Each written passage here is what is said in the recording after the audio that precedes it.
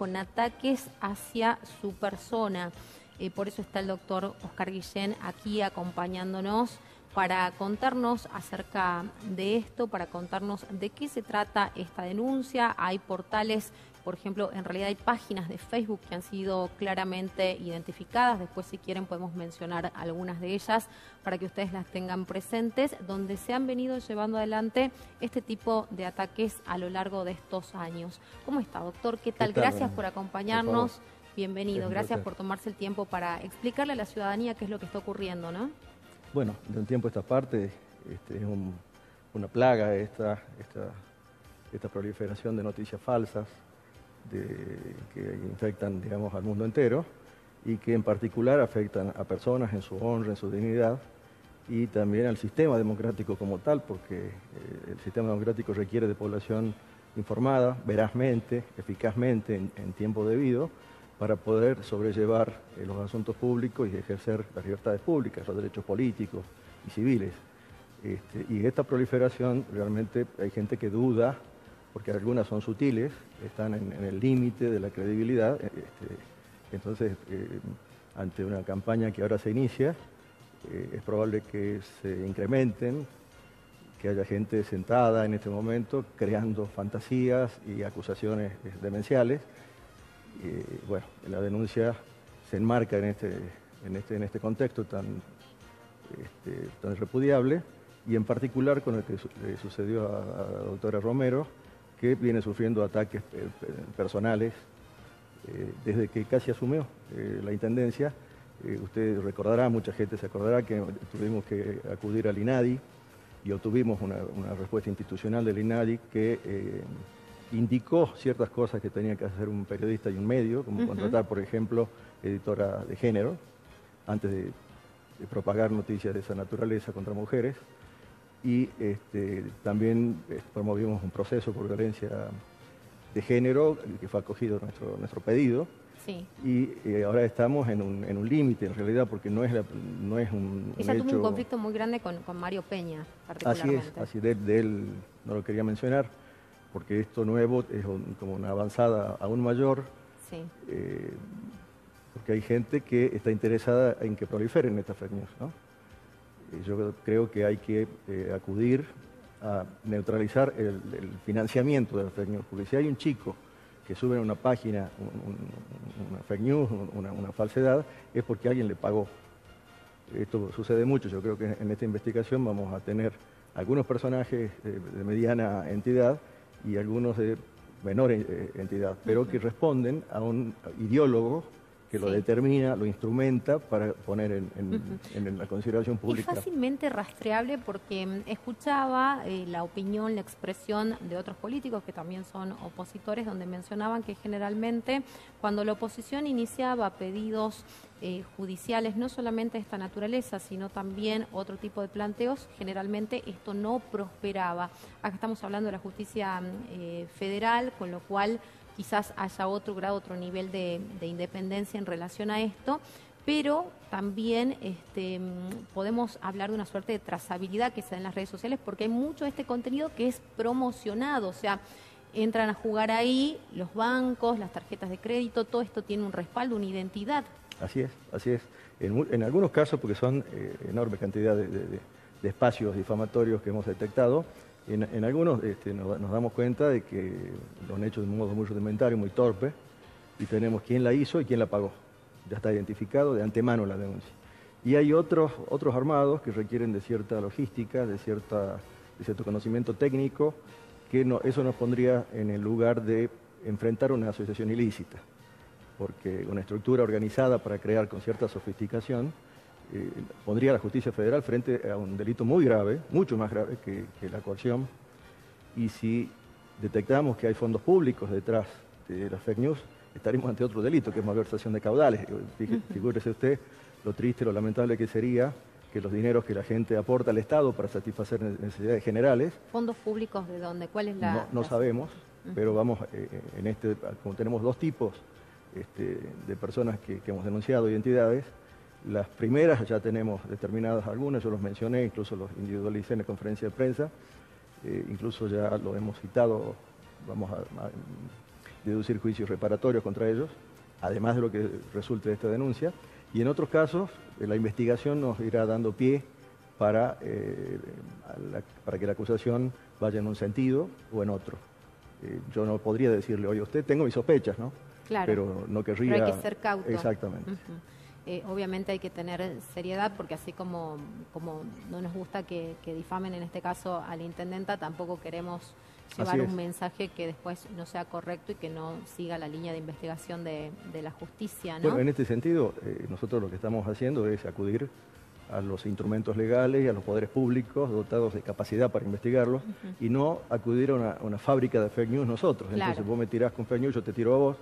Esta no es el modo de mirar la política de, de Bettina Romero, eh, que debo decir ha soportado este, con mucho, mucho estoicismo tantas acusaciones. Eso, eso también quería consultarle, doctor, porque esto viene de, larga data, desde el inicio de su gestión. Bueno, recordemos que tanto la gestión de Gustavo Sáenz, de Alberto Fernández y de Betina Romero inician prácticamente con la pandemia encima, con lo cual tanto el Estado nacional, provincial y municipal han tenido una suerte de parálisis, por lo menos los primeros meses donde este, estos gobiernos eh, encuentran, digamos, ese primer desafío, ¿no?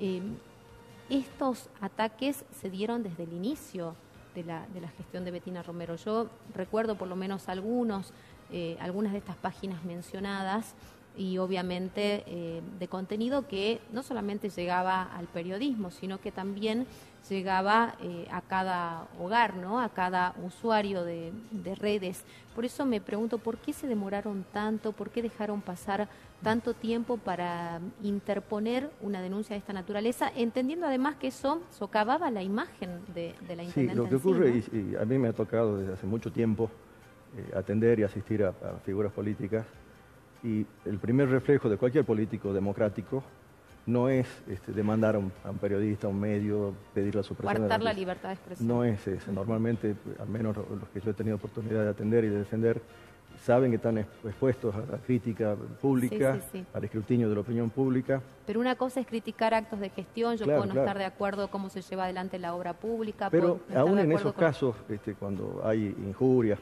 patentes, que este, adquieren este, características eh, alevosas a veces. Incluso en ese caso los políticos dicen, bueno, este, probablemente esto fue un, un abrupto, no, no, prosiga, y yo sé que Betina eh, tiene esa, esa, formación de tolerancia y, de respetar eh, la opinión pública y el periodismo en particular. Pero últimamente hemos visto un incremento impresionante de, fake news. Entonces, cuando me habla Betina, cosas que veníamos charlando hace tiempo, mirar lo que pasa acá, mirar lo que pasa allá, Betina insistía en ser paciente, en ser tolerante, y ya finalmente me dice, bueno, no, este, esto ya ha colmado todo límite de tolerancia, de razonabilidad, y empezamos a trabajar en una denuncia que es muy extensa, muy, muy, grande, hay mucha prueba ofrecida. Posiblemente esto demanda algún tiempo de investigación, pero lo que hemos presentado anteriormente en el Foro Federal, hemos tenido respuestas altamente satisfactorias. No, así en el Foro Provincial, eh, no me refiero a, este tipo de cosas, sino a otras, eh, el fuero provincial a veces se maneja de otra forma, ¿no?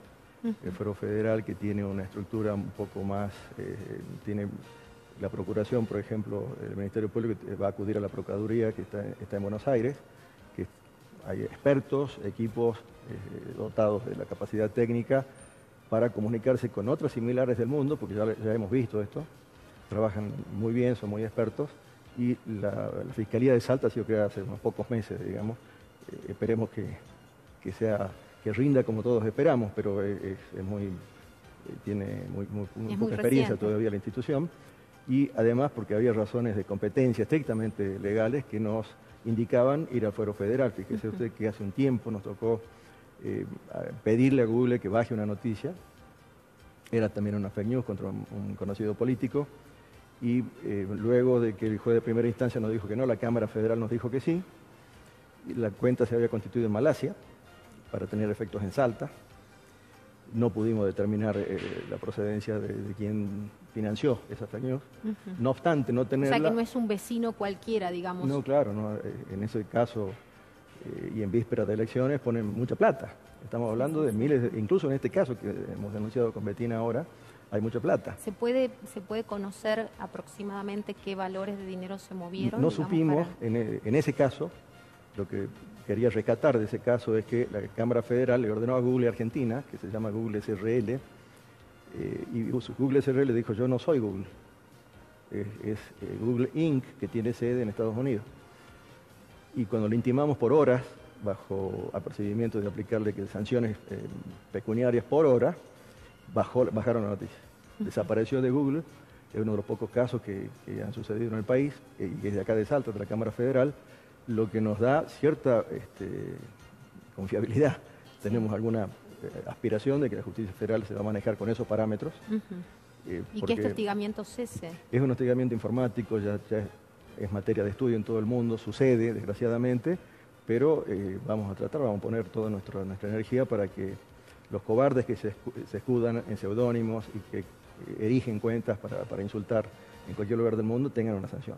Claro, es muy fácil este, desde el anonimato, como usted dice, eh, decir cualquier cosa, ¿no? Es tremendo lo que, lo que sucede justamente con las redes sociales. Eh, son fácilmente detectables los perfiles truchos, pero bueno, la ciudadanía no tiene posibilidad de estar mirando y chequeando quién deja ese mensaje de manera permanente, porque la gente del otro lado tiene sus, propios problemas, sus propias necesidades y sus propias situaciones para resolver. ¿Qué precedentes hay de esto en eh, la justicia? ¿Qué legislación también nos acompaña? Porque todavía en, torno a los, a los delitos eh, de esta naturaleza hay como muchos vacíos, ¿no? Así es, todavía eh, faltan, están necesitados de desarrollo legislativo, ¿no? No va a ser fácil porque hay proyectos en el Congreso y, bueno, el Congreso vemos que está afectado hoy de una cierta parálisis eh, por intereses muy concretos políticos, pero yo creo que finalmente vamos a tener que tomar en serio este tema. Hoy conversaba con colegas de ustedes que me decían que la fiscal de, de asuntos de, delitos cibernéticos de la provincia había manifestado que las fake news no son delitos, eh, lo cual es cierto. Eh, si uno toma el, concepto de noticia falsa en sí misma, no puede no constituir delito, pero si se aplica una campaña sistemática y sostenida, destinada a coaccionar. Con intencionalidad. Exactamente, o, si se usan dineros públicos, estamos en presencia de otro delito que ya existe hace mucho. Si hay asociación ilícita, también es un delito que existe hace mucho, entonces lejos de desalentar las denuncias y de decir que no son delitos, teníamos que decir, bueno, pongamos atención, cuando, cuando alguien miente de esta forma es porque hay algo muy concreto detrás. Y eh, en este sentido me decía, usábamos la figura con colegas suyos de un cuchillo que destinado a comer, eh, que es un elemento inicuo, pero si yo lo introduzco en su pecho puede ser un arma mortal.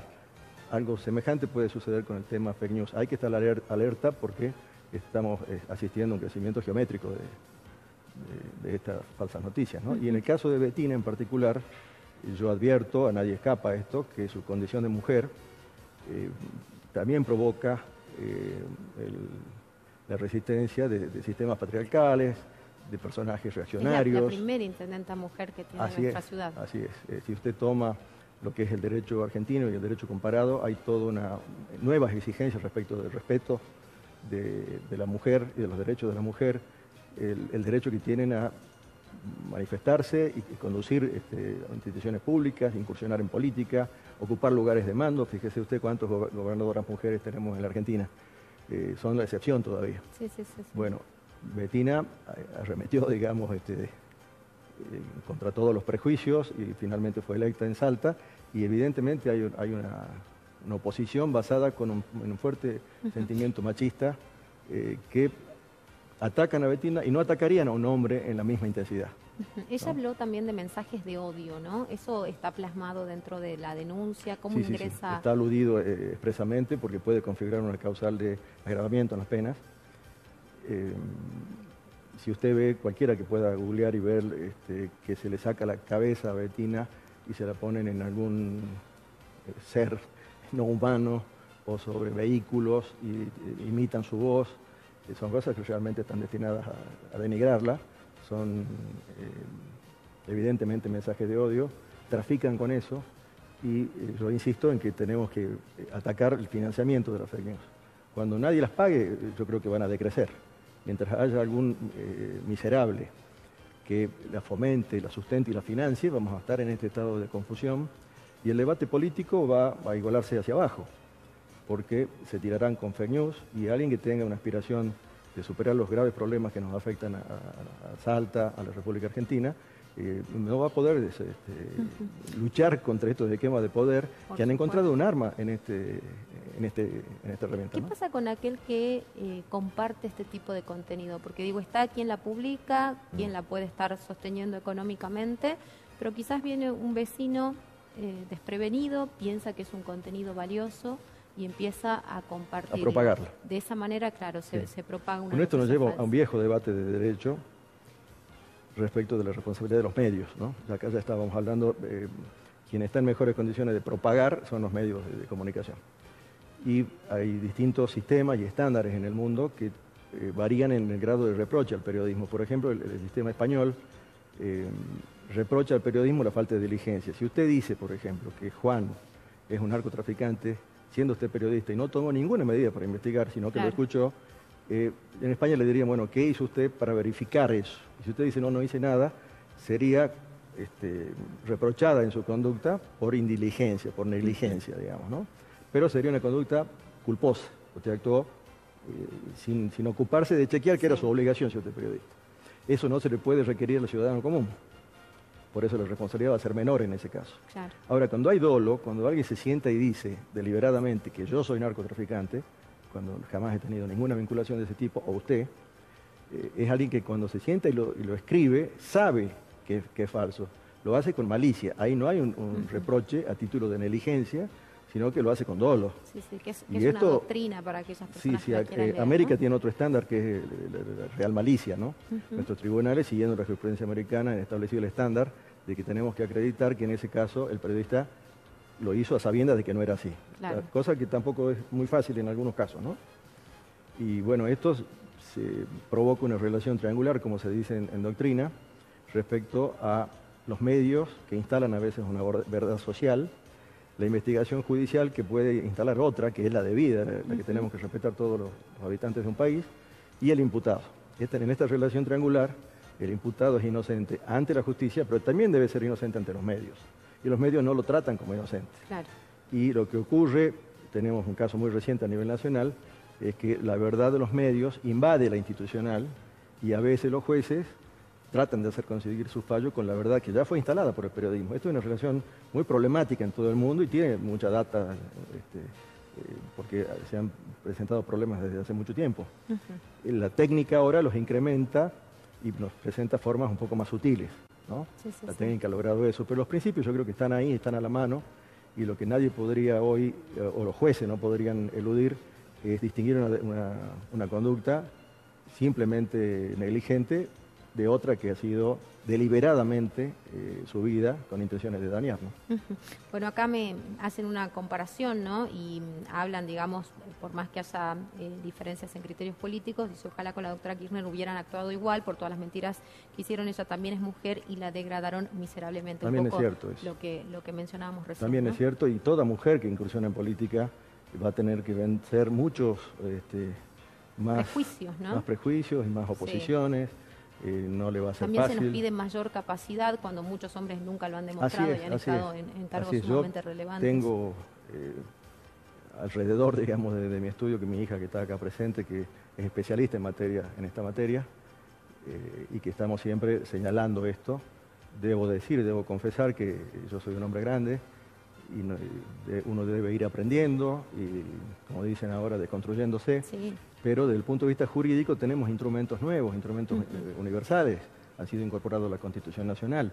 Entonces esto debe necesariamente cambiar las estructuras y eh, bueno, Salta tiene eh, una característica de ser una ciudad conservadora en general. Por supuesto. entonces va, a costar un poquito más, pero bueno, lo que está haciendo Betina es todo un, todo un cambio muy valiente, está dando la pelea y está haciendo cosas que los hombres no hacen a veces, ¿no? Se anima un poco más eh, como esta denuncia eh, ante el Juego Federal, porque seguramente esto le va a traer dolores de cabeza. ¿no? Lo sabemos, estamos asumiendo los riesgos y que en esta materia no vamos a tener enemigos chicos, pero hay que hacerlo. Claro que sí.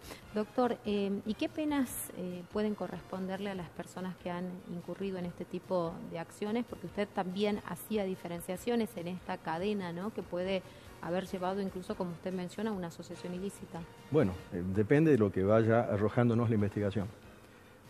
yo haría mal de, de antemano este, predicar penas, porque si la investigación va dando la existencia, por ejemplo, de una asociación ilícita, este, va a ser un pájaro cantará en ese caso. Si estamos ante la figura de la coacción, un delito eh, cuantitativamente menor, eh, será otra la hipótesis.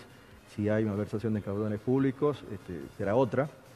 Y lo importante de esta investigación va a ser no solo eh, la llegada de la pena, que será no sabemos cuándo, eso va a demorar seguramente, sino la aparición de elementos de la investigación, que hoy, como me consultaba un colega suyo, nosotros no estamos dispuestos de darle el regalo a los que insultan de mantener su nombre en secreto. ¿no? en cuanto a la investigación arroje datos, lo vamos a hacer públicos.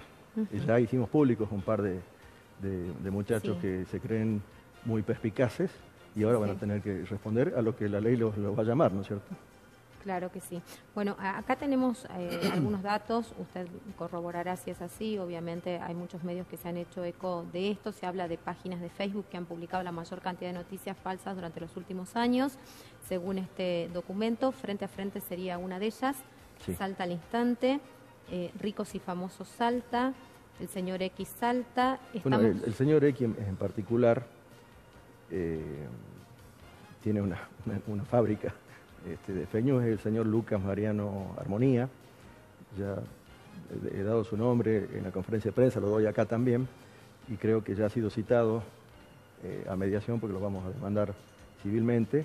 Eh, yo creo que llegan a, los extremos a los que llegaron por la impunidad que han sentido. Se sentían este, eh, protegidos por un manto cálido de impunidad porque nadie los demandaba, porque nadie mostraba su cara, estaban ocultos y ahora estamos poniendo luz sobre esas oscuridades y vamos a dar el nombre de cada uno y a medida que eh, aparezcan en la investigación criminal, lo vamos a hacer público. ¿Y esto cómo ha sido verificado, por ejemplo, en el caso del Eso lo hicimos nosotros porque eh, se puede hacer por, las propias páginas de, Facebook, eh, e incluso cuánto se pagó en cada publicación de esa, que se pagó, como dice un diario hoy, no teníamos ese dato, pero se ve que se pusieron a hacer el cálculo algunos periodistas, creo que fue Infobae, o Clarín, no lo recuerdo, que la plata que se invierte en esa publicación para los seguidores que tiene es mucha plata.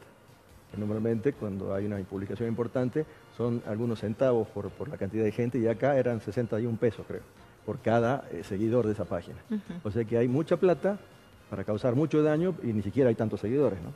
Claro. Eh, estamos con Betina 2023 porque eso también obviamente genera confusión. Uno pone... Eh, en ese, ahí entraron y usaron imágenes oficiales de la municipalidad, de la Secretaría de Prensa, pero agregando algún adjetivo, agregando voces que no correspondían. Entonces la gente cree a veces que es una misma noticia de Betina o de la municipalidad y es una fake Es más, déjeme eh, agregarle otro ejemplo. Eh, hay una que la vamos a, contar públicamente, vamos a tratar de hacer una especie de videito. No es lo mío, digamos, no es, mi incumbencia principal, pero ante la indignación que provocan estas cosas, eh, uno también tiene que agudizar el ingenio. Hay una página que muestra baches y, los baches son de la India, en el 2016. Entonces, ahí nadie puede decir, me equivoqué, este, fue sin querer. Extrajeron unos baches de otro país, de otra época, y los pusieron en Salta. Y dijeron, estas son las calles de Salta. Claro. Una, una malicia este, inconmensurable. ¿Sabías que Salta, el salteño al día y saltar.com? Y algunos más debe haber, ¿no? Eh, eh, últimamente, cuando decidimos hacer la denuncia, nos abocamos más bien a, nuestra parte, al estudio dogmático, jurídico de la situación, y la gente de lo que nos auxilian en estas cosas de la tecnología eh, trabajaron arduamente, pero posiblemente haya algunos portales que no conocemos pero que van a aflorar a la la investigación. Doctor, ¿cómo afecta esto la, dignidad humana, por ejemplo? ¿no? Ya saliendo del caso de Betina, cualquier persona que sufra un ataque de esta naturaleza y que realmente sienta que en su condición ha sido dañado y quizás hasta invalidado, no solamente para el ejercicio de la función pública, sino para cualquier actividad que desarrolle. Así es, se daña profundamente el honor, la dignidad, la reputación, eh, con los políticos se, pretende eso, ¿no es cierto? Pero esto también sucede a veces en el plano de la sociedad civil, entre particulares, y son cosas que quedan. Eh, se dice últimamente mucho es que el honor ha caído en una especie de, de, subestimación social, se puede insultar, Y, por ejemplo, hace poco hubo una sentencia contra el grupo Clarín eh, por difamación y la sentencia condenó a pagar, eh, no me acuerdo si 200 mil pesos, lo cual a Clarín no le preocupa. Digo Clarín, eh, pero podría, ser, cualquier, otro medio. Y muchos doctrinarios dijeron, no, para que le duela, castíguelo, y que indemnice bien, entonces se van a cuidar. Mientras la justicia tampoco ponga las cosas en su lugar, los daños a la reputación, que son en muchos casos irreparables, eh, van, a, van a seguir. Yo espero que eh, en, alguna plataforma política, algún dirigente eh, que vea las cosas con cierta estatura, con cierta distancia, esto cambie, porque si no es todo un cambalache en donde cualquiera puede ser acusado por, por cualquier cosa y cuando normalmente promovemos demandas civiles nos damos con personas insolventes. Entonces es imposible que reparen, porque en realidad fueron instrumento de otro y no podemos probar esa relación causal. Esto se acude a este expediente a veces, ¿no? Eh, pero bueno, tenemos que rescatar este, la dignidad de las personas, sacarla de, esta, de esta mira en la que está por estas personas inescrupulosas y cobardes que atacan desde, desde la oscuridad. Muchísimas gracias, doctor. gracias por acompañarnos y cuando haya más información le pedimos obviamente que lo haga conocer para poder difundir a nuestra audiencia. Cómo no, con mucho gusto. Que esté muy bien, que tenga una excelente jornada. Gracias por la invitación.